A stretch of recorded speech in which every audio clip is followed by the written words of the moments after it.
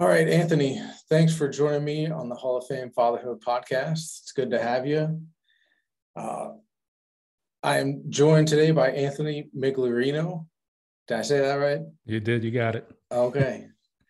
Uh, Anthony is uh, the, the coach and the man behind uh, peacefulfathers.com and also Oak and Rock Fatherhood, which he started with uh, Zach Small, who was a previous guest of the podcast. And uh, so, Anthony, thanks for joining me today, and look forward to diving into fatherhood and and all that. So, yes, sir. Welcome. Steve, thanks for having me on, brother. I appreciate it. Yeah. And um, as always, man, these are important conversations, and I enjoy them. I really do, from like deep within my soul. I love when I can get together with another father. We could sit down and we could talk about ways how we could be better. Absolutely. Absolutely. So why don't we just start off, you know, share a little bit about your journey, you know, when did you become a father? You know, what did all that look like and where are you at today? Yeah, definitely, man. It, has been a it's been a long journey. I can say yeah. that. And um, for the for the people who say life is short, I don't buy into that. it is um, it is a, a long, strenuous, difficult, and, and joyous path. So I am 44 now, and I became a father uh, one month after I turned 20. That's when I had my first daughter. And uh, three years later, I had my second daughter. And then five years later, I actually had my son, my first son, well, my only son. And uh, like like most people, I was raised in a traditional style um, home, traditional parenting. And I guess being a father, you know, becoming a father at a, a young age, I um, I saw the beauty in it, or I saw the joy. I, I loved that I had these little people who depended on me, and it took a while, but I, I started to see how mis how everybody typically mistreated their kids, and I just mm. something within me was like, man, this is not right. There's something wrong. Why are so many parents yelling at their kids? Why do I see parents hitting their kids? Uh, you know, there was something missing. So from a young age, I vowed to not treat my kids that way. And I, I never, um, uh, well, I could say I never hit my daughters. I never spanked them. There were punishments, but it wasn't until my son was born where the, the light bulb really went off. And I, I you know, I started thinking to myself, man, I, I need to do better. I need to figure out better ways. There has to be some resources. There needs to be something going on where I can show not only my daughters, but my son what a good man looks like, right? How could I build up within myself to give my kids the best example? And those conversations were not having, you know, they weren't happening. There weren't dads. Every dad that I met, they were talking about football, what beer they drank, right. you know, sports teams. It was all surface level bullshit. And when I did start to speak about it, people push back. And, and you know, even mm. family members, everybody's like, what are you talking about, man? You're a conspiracy theorist. You're crazy. Mm. This, what do you mean we need to treat kids like human beings? So, you know, at that moment, I knew um, that it was the right thing to do, right? Right.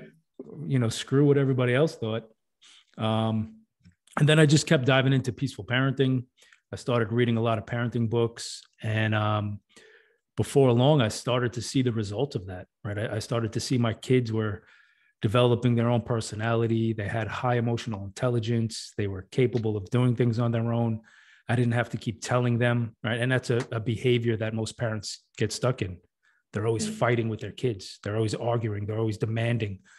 And they just want their kids to listen, but they never think about, well, how do I really get my kid to listen? And for me, it was simple, right? It's, it's all about connection. It was all about influence. If if I could have my kids look up to me, admire me, then my influence will be effective. They would trust me. They would know that I always had the best intentions for them. And and they knew that because I wasn't just saying it, but I was living it, right? I, I wasn't raising my voice. I wasn't hitting them. I wasn't punishing them. Um, I was actually guiding them to figure things out on their own. I was coaching them to become better. Uh, but to do that, I had to become better. Right, I had to be that example. Right. Well, yeah, I uh, so many so many different branches we can can go there. Uh, like, what do you think? What was the the light bulb that went off between your second daughter and your son? That was it a specific event? Was it what was that that flipped the switch for you? So, I would say that prior to my son being born, um, I worked a lot, and it consumed my life. Right, I spent a lot of time working. I have, I have, I used to have my own business, and I saw that my family wasn't as strong as I thought it should be. Meaning that um, I, I realized the light bulb was I realized that when I wasn't there and I wasn't as present as I should be, my family suffered. Right, my wife wasn't as happy. My kids were displaying behaviors and traits that were a little bit chaotic, mm-hmm. and that was to me that was a light bulb right it, it was it was making a stand saying I, I, can't live like this right this isn't this isn't what a family should be right by no means the hard part was is like i said before you looked around and everybody was living that way right, right? everybody was mistreating their kids everybody was punishing their kids and nobody thought twice so i would say that when my son was born that was that was the point where I was more mature that I could understand my role as a father better. Before I was young and I just I knew I wanted to do right, right? I didn't want to harm my daughters. I was the protector, mm-hmm. the provider. When my son was born, um, that was the moment I was like, man, I'm, you know, I'm a lot more mature now. Um, and I need to start taking this role seriously. I, I really need to put in the work.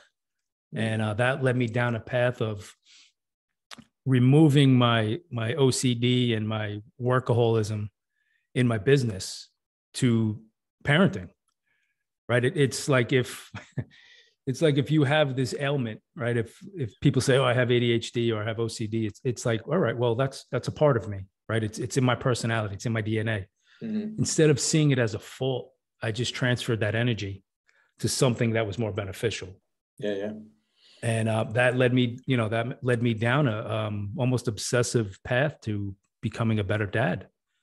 And um, you know that that's the thing and it's something i teach my kids right? You don't want to always point out your faults. You don't want to dwell on your faults what you lack what you're no good at. You want to use them as ammunition right? You want to use them as power to fuel you to become better. And um, you know that's an important lesson. It, it's a lesson that i've seen played over and over again with my kids. You know we, we hear this saying you, you take one step back two steps forward. Mm-hmm. yeah that's that's true man. It, it, it has to be the mindset that you uh, adopt in your home it has to be the mindset that you adopt within yourself as a man.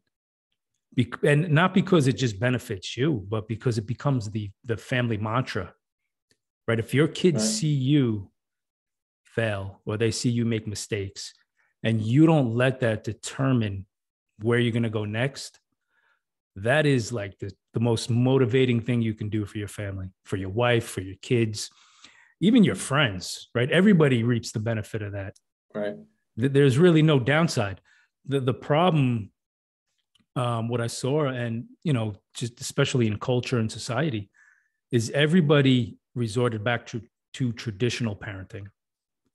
And nobody was taking the steps to grow becoming a mother or a father right? It was mothers to a degree get it right? They're a little right. bit more compassionate. They're a little bit more understanding yeah. um, or we have this perception that they are so to go sidetrack a little after i did research i learned that mothers actually abuse their kids more than fathers do right they hit them more that, yeah yep absolutely but anyway, to, to get back to my point, you know, this traditional parenting, what everybody thinks is the right way, it's almost like we're operating on autopilot, right? We're mm-hmm. we're doing things over and over again, and it's not effective. It's not getting the results we want, right? It's it's not getting our kids to listen.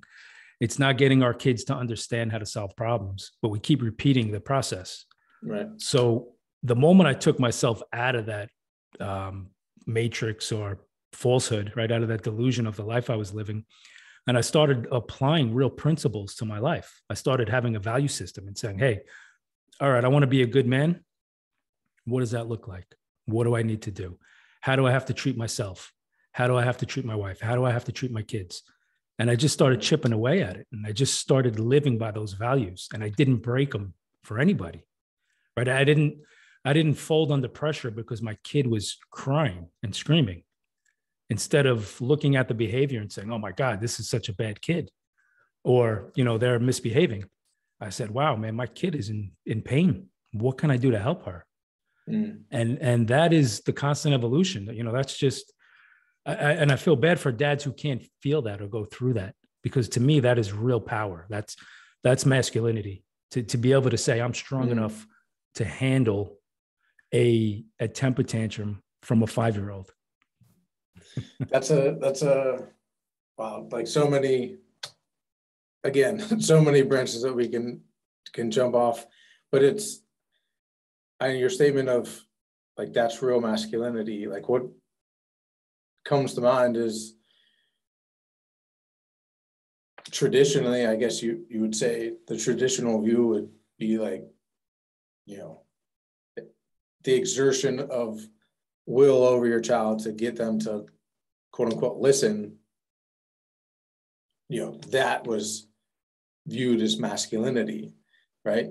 So now you're flipping that on its head and saying no your ability to stay calm and grounded and not lose your shit because your five year old is crying because he does because that's what five year olds do like that's real masculinity. And that's i agree 100% yeah i mean but listen it, it could be open for debate right? That there could be right. guys who say no that's not masculine that's giving in that's giving your kids control of your home or that, that's being weak it's being passive. But that's not what i do right? I, I don't let my kids run the home.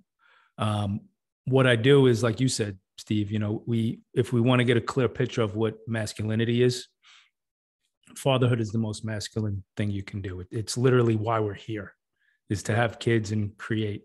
Right. Right? It, without that i mean i guess you can you you can be a man, but to to harness that power is the ultimate masculinity trip. Agreed. yeah, yeah, and uh, you know, like when I heard like peaceful parenting, um, like one thought that I've had is like because it kind of sounds like say sounds weak or and kind of like new age type. Yeah, you know? woke. yeah. And it's like, well, we have millennia of quote unquote traditional parenting and you know results are debatable on how successful it's been but it's it's built you know it's built the generations before us to both good and bad so it's yeah. like well, I mean, it's honestly, hard. if you if you look at history, it's been pretty dark, man. well, yeah, I mean, it it definitely has its ills for sure, and it's like, well, but it also got got us to this point. point, and it I think it feels like a a collective like death, like with everything that's going on in the world, like shit is changing. You know, no matter what you think about it, things aren't going back to 2019 or before. Like, and I think adopting this new way, you know, adopting a new way of parenting or a new perspective, it kind of feels like, yeah, you have to step out of your comfort zone to be able to stay grounded when your kid is crying. And like that's not easy to do. No, it's not, and I don't think it's a relatively new way. Um, I think that if if you go back historically, um, you know, there have been there's evidence showing that um, in even in like primitive tribes, right, that the mother would have the baby attached to them the whole time they're in childhood. The father would take them out to gather, to hunt. Like they were, they were the the the civilizations that thrived were the ones where the families were connected. Mm and I think what we we've gotten away from that, um, and you can say it's probably because of you know the modernization, technology, right? It, life has become easier.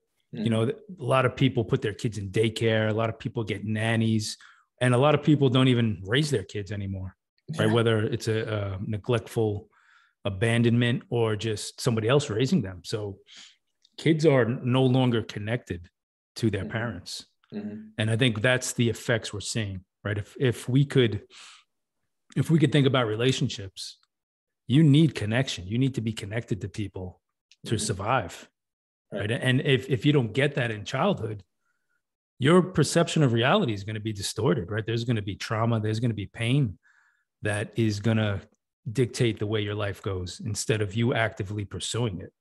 And I think that's a lot of what I see.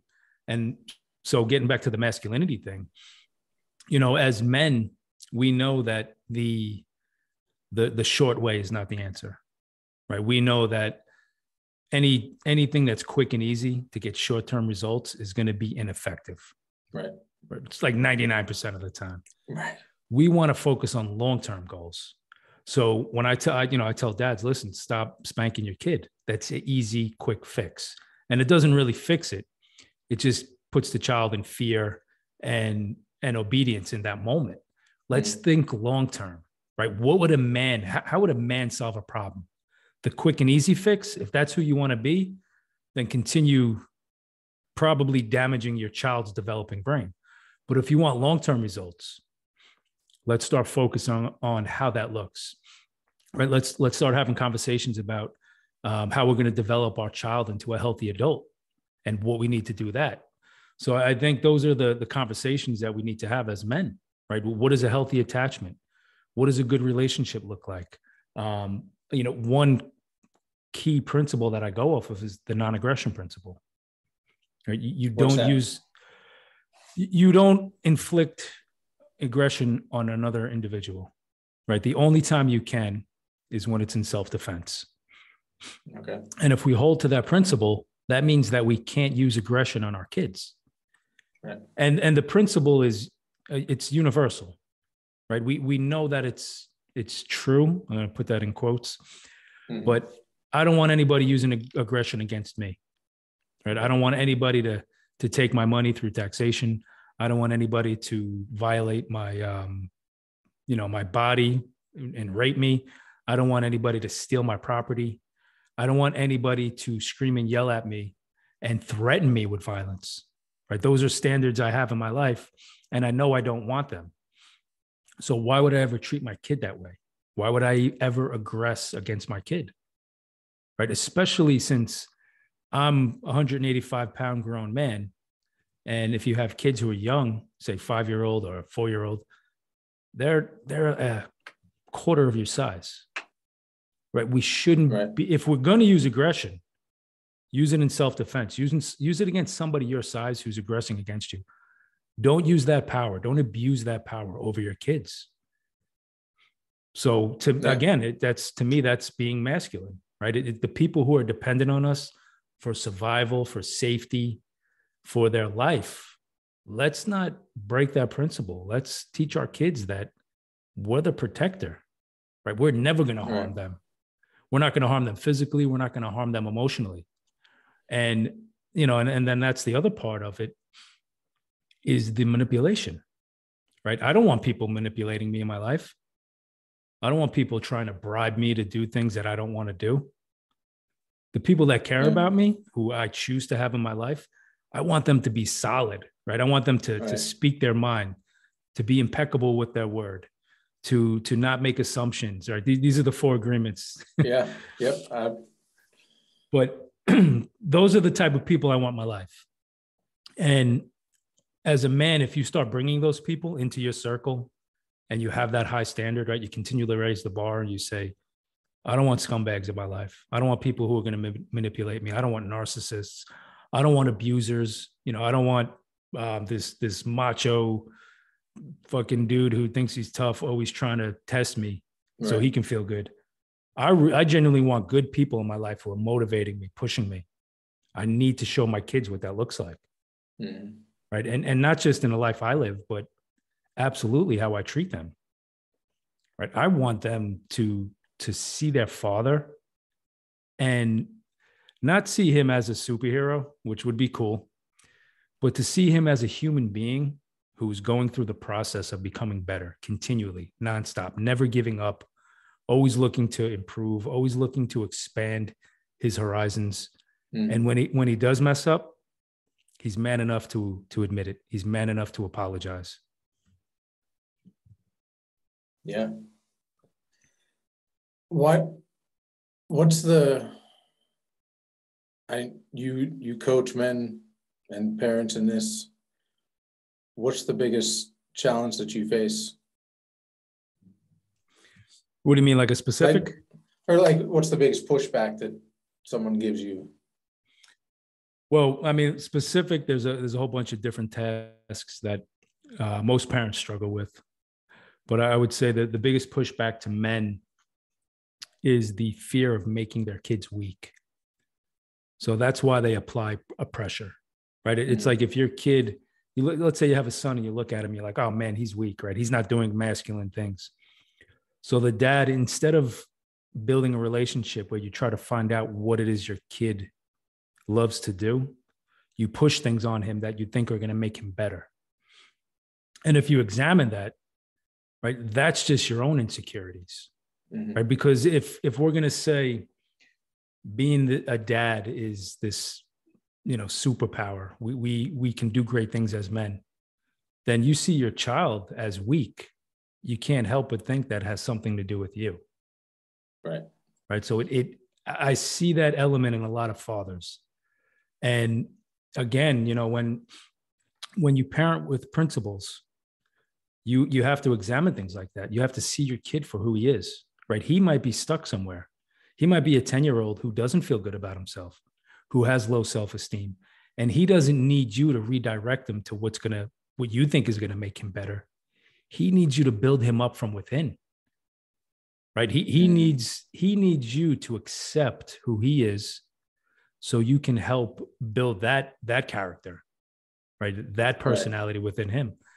And unfortunately, we, we miss that a lot because we let our own fears take over and and that's where you see dads who are very controlling dads who are um, authoritative mm-hmm. right authoritarian they'll constantly um they'll constantly operate out of fear where they're just uh being dominating over their kid they're not letting their kid express themselves they don't let their kids back talk right i, I tell people i tell i tell people I, I let my kids express themselves freely they don't have to hold any punches back with me if my child backtalks to me ever, and they have, I don't let it harm me. I don't let it deflate my ego. Right. I know that right. it's something they're going through. So what is what does that look like? Like when your kid is essentially unloaded on you, like what does that look like? Like if you can draw a picture for us as an example of maybe some words or questions or you know how you would deal with that situation just as an example yeah no definitely so you know one thing that gets tricky is when kids become teenagers and you talk about curfew mm. and a lot of parents think that if they set a curfew their kid has to obey it right and and that curfew is set by the parent so it, it becomes the parent wins, the kid loses. The kid has no feedback, they have no say. And we miss this mark as a parent, as a, especially as a father, because the father is usually the one setting the curfew. Right. So instead of getting input from your kid, right, instead of saying, hey, you know, I would love if you can come home at 10 o'clock. And they were like, oh, but dad, everybody else gets to stay out to 11. 10 o'clock, I don't care. What does that do? Right. That that leaves one party in that relationship not being seen and not being heard. Right. We're telling that kid, listen, I, as a dad, I feel that 10 o'clock is the right time and my feelings are very important. I don't care what you're going through. I don't care what you think. I don't care what you feel about this. I'm putting my foot down. And that's going to get, oh, you know what, dad, screw you. Or, you know, that that's going to get the pushback. Right. Because if in any other relationship, if you treated somebody like that, you would get the same pushback. Right. Right. If, if you tried to control another human being, they're going to push back. So to solve the problem, right, and, and, try to think more clearly, be be more open about what's going on, because ultimately you want you, you the, the ultimate goal is you just want your kid to come home safe. Right. right. You, you just want him to to come home, be able to go in his bed and wake up the next morning. And I and I get it, right? It's stressful. Um, what I started doing in my home is I learned how to negotiate with my kids right? I, I learned how to give them some power in this situation. Mm. So if I wanted them home at 10 and they were like, oh, dad, all the other kids stay out to 11, I would say, meet me halfway. Let's go ten 1030. I don't care about that half hour. All I care about is my kid coming home safe. And you know what? Now they see the relationship and they say, hey, I did have some say, right? Dad thinks I am important.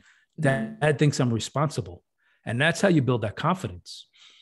And it's not a like you know this isn't snap your fingers and it happens right you might you might agree at 10:30 he might come home at 10:45 right? So right. so now you have a conflict. Now he comes mm-hmm. home and you're like we agreed at 10:30 um unfortunately what i say to that is they're kids. That what do they really have? Like they, they understand time but when you're a kid and you were you were younger I was yeah. a long time ago. I was a teenager. when you're in the heat of the moment, man, you're not always actively thinking about, oh my man, I'm going to be late. I'm like, I know most adults can't even show up on time. Mm-hmm. Right. right. It's it's a difficult task. So what I would do is I would say, okay, it's cool, 1045. I'll see you in the morning. In the morning time, we sit down and be like, hey, listen, you were a little late last night. You think next time you can, you know, we can try to meet that mark, what we agreed to. Yeah, mm-hmm. dad. Okay right. and you just keep going through that process um, and and why it's so beneficial is when when we set curfews we think that our kids are going to be in danger because they're hanging out with other kids right so mm-hmm. the peaceful parenting philosophy is when your kids are younger and they depend on you right when they have a healthy dependence with their dad when dad treats them kind, when dad shows them respect, when dad doesn't um, hit or abuse them physically or mentally, mm-hmm. you build a connection and you create a, a, a real healthy attachment. So now your kid knows what a healthy relationship looks like. So when he goes out, when he becomes a teenager now, and he's like, "Oh, I'm I'm independent. I don't need you anymore, Dad." And you're yeah. like, "Okay." And this is how I am with my kids. When my kids go out, they don't need me. I've I've done my job, right? I, have made sure that I, I cultivated um, a little bit of intrinsic value within my kids. Mm. So now they go out and their friends are like, "Oh, let's you know, let's go get drunk or let's go sniff glue in the back parking lot." Right. I don't know what kids do these days. Yeah, I don't know either, but but so I know that my kids, um, I shouldn't say always, but a large percentage of the time, they're going to make the right decision right? They might make a mistake, and that's fine. When they do, we talk about it. Mm. But I always had that that um, instinct that I was doing my job well, so I didn't need to worry. And I think that's what we miss a lot as parents. The worry and the fear comes because deep down we know we're not living or we're not parenting with a high standard. We haven't built that relationship prior. So now our kid's going to go out and of course, all these other kids from broken homes, from dysfunctional homes, they're going to influence our kids more than we can. Right. When, like, when you say that, because if, if you're the author, authoritarian parent that's like set the rules eh, with no regard to the child, but then they're hanging out with, you know, the kids who don't have the rules they're obviously going to go with the follow the kids because that's the easier path. And there's not that intrinsic you know uh, understanding of what's right and wrong and you know yeah. make that choice independently. 100% man. They're not going to have that internal compass right? That internal morality. Yeah. Telling them what's good or what's not good what's right or wrong. And that's what so many young people struggle with nowadays. Mm right they they can't determine what's good for them or what's bad for them and and that's part of that you know, being a child. Right. But um, the the other part of that is if if we are continually uh, again abusing our kids physically, emotionally, mentally, they're not going to know what um, what that good relationship is supposed to look and feel like. So now they're they're in the back of their mind, they're always going to be saying to themselves, I have to change who I am so my dad will love me. Because if I show him who I really am, he gets mad. He punishes me. Right. If, if I if I actually take a stand and I say, Hey dad, I disagree, or hey dad, I would really like to do this. Mm-hmm. Right. Or hey dad, no. right. So what what that child will do is he'll he'll change who he is. He'll actually erase his personality mm-hmm. to fit what the dad wants him to see. So now when that kid goes out with his friends, he's going to show those friends exactly what they want to see mm-hmm. so he can be accepted. And right. man, I don't need to tell you how destructive that could be. No, I I understand. I've seen know from personal experience what that is like. It yeah. uh it doesn't it's a it's a long road to understanding where all that action is coming from and all those decisions are coming from uh, when you're in those shoes. And it's you know the and just thinking about your example of communicating about curfew like just think about the skills that you're teaching your kids you know to negotiate you know, to go back and forth with their boss. If they can go back and forth with their dad, they sure as hell can go back and forth with their boss. With a woman. Right. It, it's, it's like, real life skills. Right, exactly. And it's like yeah. I I have a six year old son and he was struggling. He well, he's six, so he struggles with taking a bath. And like every six year old. Yeah, every day. I it's time to take a bath no, no, no, whine, whine, whine. And today it was like I had the patience, the work, the awareness, and all that, the mindset. It was like, you know, you're whining. Are you going to get the result, or is there a better way that you can tell me that you don't want to take a bath? Because essentially that's what you're telling me, right? And he's like, yeah, and I told him a couple days prior, like, when you don't want to take a bath, you tell me, Dad, can I have three more minutes? And then I will go take a bath. So then he takes ownership, like he knows that's the right thing to do.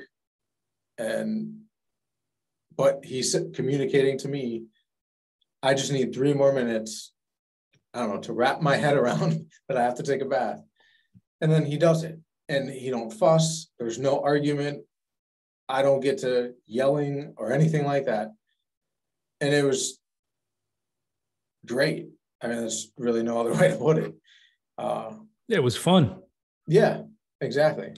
And and that's you know to a degree that's what we should be doing.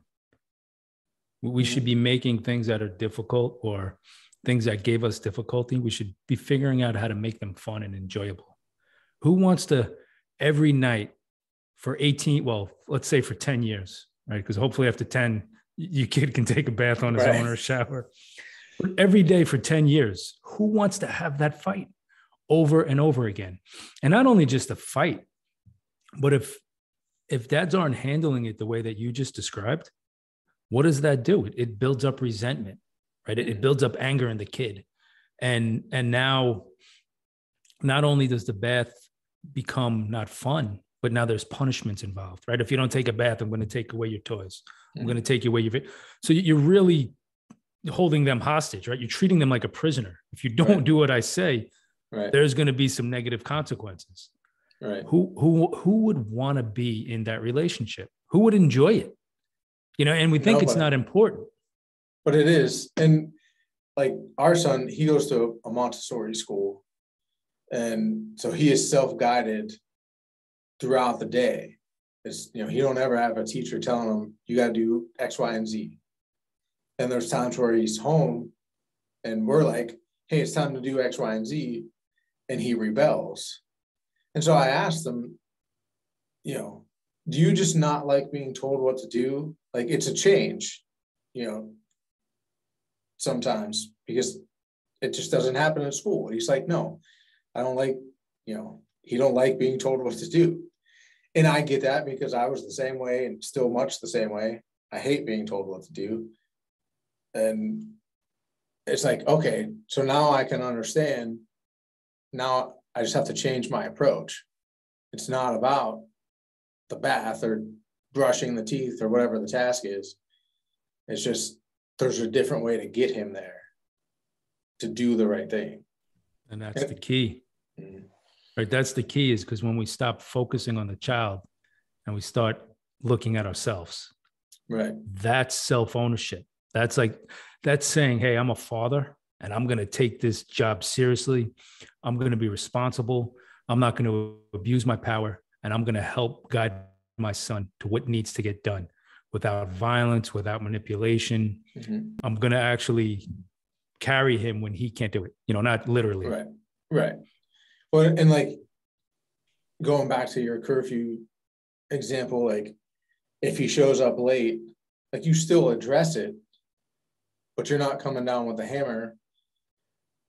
But it's like it made me think like, you know, if unless you as the parent are on time 100% to every appointment that you ever have in life then maybe you can say something but just because you're the parent like you're still setting the example and if you're you're setting the example of hey yeah i show up to late sometimes to work or to wherever well there's your example you know it's like you yeah. have to always point. No, that's a back. good point. I, I really haven't thought of that angle too much. Right? Don't be a hypocrite. Right. but I would say that the most important thing is what you're building in those moments is trust. Mm-hmm. You're you're giving your kid signs that you trust him. Right. And when you punish, you show him that you don't trust him, that he's a bad kid, that he's incapable of following rules. And this is something that we get we get completely screwed up with as fathers because you want that trust, right? You and you have to earn it as a parent. You don't just get it because you're the dad. Mm-hmm. And it, where it comes into be a really big deal is when your son is an hour late and something bad is going on, right? He got he got beat up or he got in a fight or other kids are using drugs mm-hmm. or they want to go rob a liquor store, whatever, right? I don't right. know what kids do these days. no, but seriously, like if something bad is about to pop off, you want your son to call you up and say, Hey, dad, I'm in a really bad spot, man. I need you to not be mad. I need help. Mm-hmm. That those are like life-saving moments. And and that's why you want connection, right? That's why you want to negotiate with your kid. That's why you, you want to give him some power in the decision he makes in his own life. And and that starts little, yeah. right? You said you have a six-year-old. The, the curfew example was obviously the, the more stressful teenage years. Mm-hmm. But that goes with the six year old cleaning his room, right? Let him pick the time he wants to clean it. Mm-hmm. Make sure that you're helping him clean it, showing him what it looks like to be organized. When you go and do it with him, make it fun, right? Make it like an activity you guys can do together. It doesn't have to be this task that he's going to hate every time, right? Show him that it's it's great to do things. Mm-hmm. It's great to be, you know, have your room clean and, and have mental clarity. Yeah. There's so many people who who struggle with that as adults. Like mm-hmm. go to somebody's house and you're like, oh man, you know, I get anxiety sometimes. Well, I shouldn't even say my house is a disaster. I got three kids, a wife, four dogs, 12 chickens, two cats. It's, I shouldn't even talk. But, you know, that it, that's where it starts, right? You build that relationship when they're young. It's, it's about prevention, right? So when you focus on prevention, that's much greater than reacting in those moments. Right. Right. So when your kid doesn't want to clean his room, you're going to lash out and scream at him and tell him that he's stupid and he's lazy. And you're going to take his tablet away and he can't have ice cream for a week. What, what's the goal? Like, what are we trying to do? Are we, are we trying to teach our kid how to get the task done? Or are we trying to make them feel bad for existing? Right. To me, mm-hmm. it's, it's a clear choice, obviously. Yeah. Um, So when you do go through those, since we're using that example, Steve, I'll just I'll break down like some basic things, right? If if you tell your kid to clean his room and he's like, ah, no, I don't want to do it, decode the behavior, see what's going on. Like like you said, you, you sat and talked to your kid, mm-hmm. listen, see, you know, maybe there's something really cool somewhere else going on, and he doesn't want to give his attention at that moment because you said so. Right. Right. And and then that's fine right? When the, again, dads will say, "Oh, you can't let him control everything." Mm-hmm. No, you say, "Hey, listen, bud, we got to clean our room. I, I see you. You got something to do right now. That's cool, man. You're playing a video game. All right, can I play with you? Right, get into his world a little bit. See what he's doing. Have fun in that moment. Play a video game for 15 minutes and say, "All right, hey, you want me to help you clean your room?" There's so many ways that we can go about raising our kids. Mm-hmm. Well we we let our frustration we, we let really we we let our weak-minded minds right that weak-minded part of our brain control the interaction and that's yeah. why we always fail yeah i mean it can definitely it's definitely easier said than done uh, but it's yeah. definitely a worthwhile task um, what so let's switch gears just a little bit. How was it when you began your journey to peaceful parenting? How was it with the relationship with your wife and you know, how did that transition go? Was that's she a, like, what the hell are you up to? Like, that's a great question, brother. Uh, my wife hated me. she did, man. I, I heard, you know, because here's the dynamic I'm learning all these better ways on how to be a better dad. And I'm trying to share it with her. And she was still stuck in her old ways. Mm. So, of course, there's going to be resistance. Right. And then I'm like, hey, babe, look at this. You know, you don't do it like this. And she's like, you know, keep putting me down more. Thank you. Right. Tell me how bad of a mom I am. Yeah. So it it actually, and and I think this is with any area of your life that you grow and you get better with, right? You, it's exciting, it's new, right? You go all in and, and you're like, ah, oh, let's go, let's, you know, storm the gates and let's raise the best kids we can. Mm-hmm. But you have to remember that you have to take your family with you, and that includes your wife. Mm-hmm. So it, it really, you know, it, I think was probably after the probably 500th time that I heard my wife say, "You don't know, you don't owe, um, you don't know everything." right? Maybe 500, maybe a thousand times I heard that. I had to take a step back and I had to say, man, I need to listen to her, right? I need to understand what she's going through. Mm. And then I needed to help her, right? I had to be a coach for her, be a leader for her and say, hey, listen, you don't, you know, you don't have to have that argument anymore with the kids. I'm going to show you a way we could work around it, right? I'm going to help you. I'm going to provide for you. And that was not easy as well, right? That took a lot of time, took a lot of patience on my end. It, it took me uh, a long time to figure out that I was capable of helping my wife in these situations without hurting her, right? Without making her feel bad.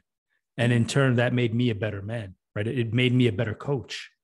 So it, it's definitely, you know, it's definitely a process that you're going to have to go through, right? And and I think you have to face it, right? You can't hide from it. Right. You can't be like, I'm going to be the greatest dad in the world, and my wife just doesn't get it. She's a loser. What? How is that going to look in the marriage? Right. Right. Not it's good. no, it's going to be shitty. Yeah, that's good. Yeah, brother. It's, it's all about building strong families, right? There's so many dots to connect once you can put on a different lens, right? Once you can get all that bullshit out of your mind and, and start really focusing on what it is you want. And to me, that's a life philosophy, right? It, it's no matter where you're at in life, just understanding that you control your life, right? Focus on the things you can control. Mm. Don't focus on the distractions, and there's many of them. Oh, so many. yeah. Right. And, but it's true. Don't fo- don't you don't waste your energy on that garbage. Mm. What you can control in your home, right? You, you can control how you treat your kids. You can't right. control how your kids behave. Right. Yeah. But you can control how you treat them. You can control how much love you give them. which is should always be infinite, right? Unconditional love. You can control if you're going to raise your hand and hit them because they didn't eat their dinner. Right? Those are things we need to stop. We need to really take a look at ourselves in the mirror and say, is this what a good man does? Mm. I don't I don't want to be like that and make the choice to change. Damn. Well, honestly, I don't think there can be a better message to. I think that's a great place to stop. Uh, man. great message, great question to to ask of yourself if you're listening. Um, yeah. So what? Tell us what are you up to? Where should we check you out? Yeah, man. So you can find me on all social media at Peaceful Fathers on Twitter and Instagram. And my website is peacefulfathers.com. That's where I offer one on one coaching. Uh, I, I, write my blog. A lot of it is on uh, parenting, obviously, peaceful parenting, psychology. And um, we've, I mean, I'm doing a lot. So you know, with Zach, uh, Zach Small, me and him, we run Oak and Rock Fatherhood. We have a YouTube channel. Mm-hmm. We're going to be having a website soon, podcast. Um, we're going to be adding a lot of things to that. And uh, we run Dad's Day on Twitter, uh, Monday to Friday. Uh, you know, Zach and I, we run that. That's an open discussion. It's a fatherhood discussion mostly, and we we encourage people to come on and you know speak their truth, tell their story, and it's it's actually been having really great feedback. So I'm enjoying it. That's awesome. Yeah, man. Well, Anthony, I uh, thank you for joining me. Enjoyed the conversation and the message, and uh, hopefully we can do a round two. Yes, sir. Thanks for having me on, brother. Appreciate it. All right, brother. Talk to you soon.